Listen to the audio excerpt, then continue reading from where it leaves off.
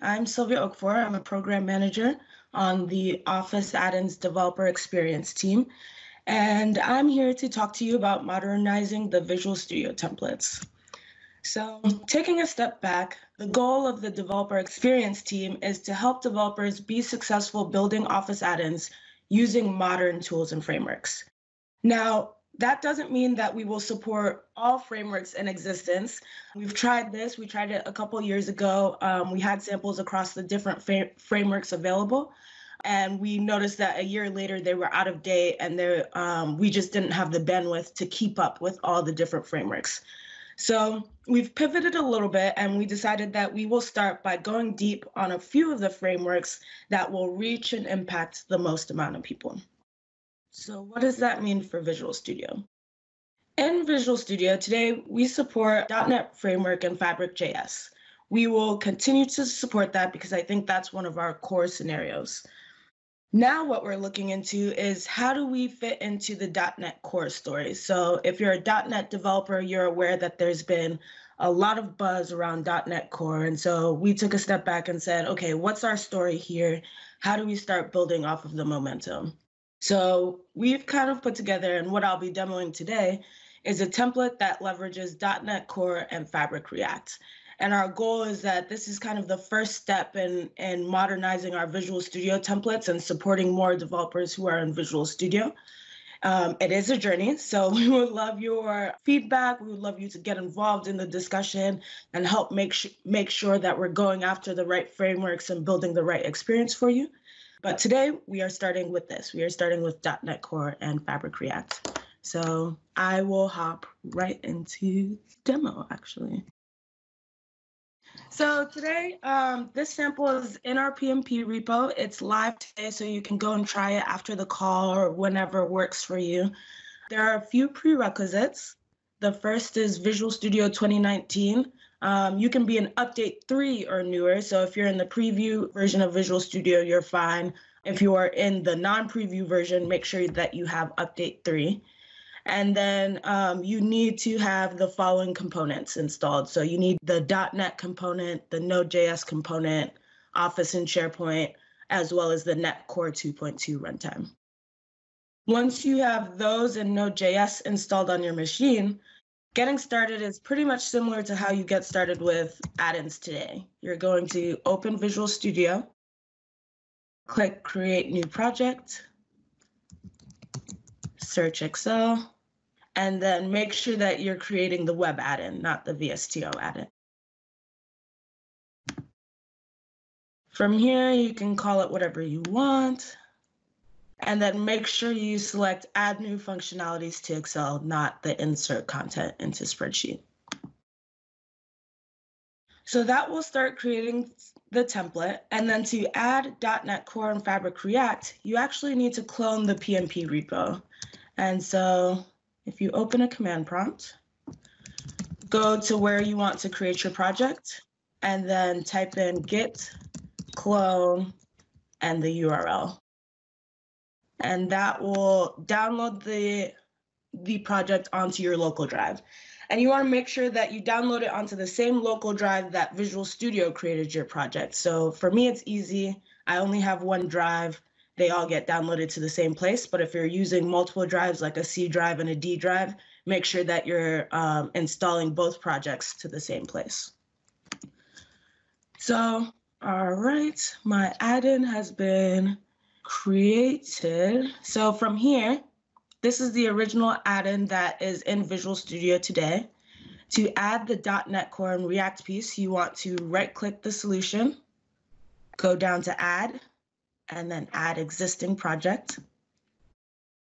Then you want to navigate to where you downloaded the PNP repo. So for me, it was in downloads. You can see it right here. I go to samples. Here's the .NET Core React. Um, choose the language that you are more comfortable with. I'm comfortable with TypeScript, so I'm going to choose that. And then I'm going to go ahead and include the project. You can see the project was included here. I'm actually going to go ahead and build this now so it can be installed and then be integrated with the original add-in. And actually, I will pause right here just to call out something that you may notice. So this is the original web add-in project. You can see the structure here below. The new .NET Core React has a slightly different structure. And so where you'll find the code is in this client app folder. If you expand public, you'll see the um, task pane styling as well as the task pane code. And then in source, you will see the index.tsx file. And in components, you'll see the app.tsx file. And this is where most of your JavaScript code will end up going. So you can see the default, we always change the color of the range to yellow. And so that code lives in the app.tsx. All right. So I think my project has finished building. Double check. Yes, that looks right.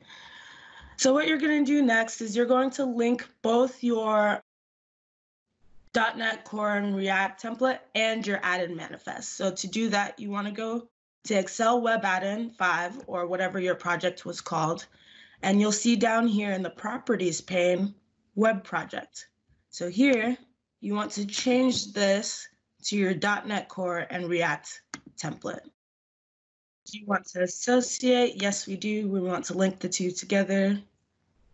And that will update the manifest and do a couple other linkings.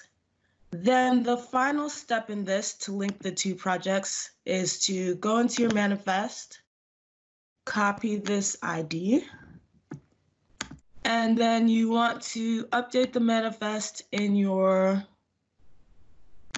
ASP.NET Core templates. So if I go here, you can see the same ID. Make sure you change that. And then you're actually going to take this whole manifest and replace your old one. So let me flip back one more time. Here we go. Just control A, replace the whole thing, save. And that is the last step, but your add-in should now be a .NET Core and React add-in. So to launch it, I'm just gonna go ahead and hit F5. Here we go. And you'll see Excel is gonna load. It's loading the add-ins. We're still working on some of the performance here, now using .NET Core and how do we optimize this to be as fast as um, the previous templates. So that is something that we're aware of and are continuing to work on. So I'll just give it a second. There it goes. Awesome. Okay, so add-in loaded successfully. You'll see the show task pane button. Again, we're aware of the performance. This is something I'm still working on, but awesome, cool. It loaded. I select a range here. I hit run. It changes to yellow. If I go back to Visual Studio, um, to my Solution Explorer and my uh, app.tsx file, here we go. I can actually change this to, let's say we want to do green. Go ahead and do that. Open Excel again. Open Excel again, change, and you can see it's up to date. And this is using, that's pretty much it. This is using .NET Core um, and React. As you still get the same functionality with Office.js. There are a few extra steps because this is still in preview and something that we wanted to test out and make sure that it's a project type that people would want and use and honestly, this is where you guys come in. So let me switch back to the presentation here. Okay, cool. Perfect.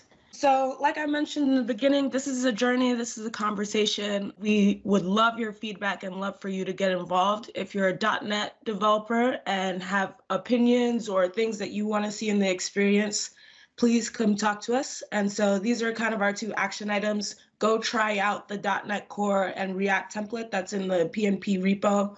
Let us know your thoughts. Let us know what you think and how it works for you. And then if you have additional opinions or additional feedback that you want to give us, sign up for an interview and come come talk to us about how you use .NET with Office add-ins and what you expect to see and what we what you would like to see from the platform. That's pretty much it for me. Thank you.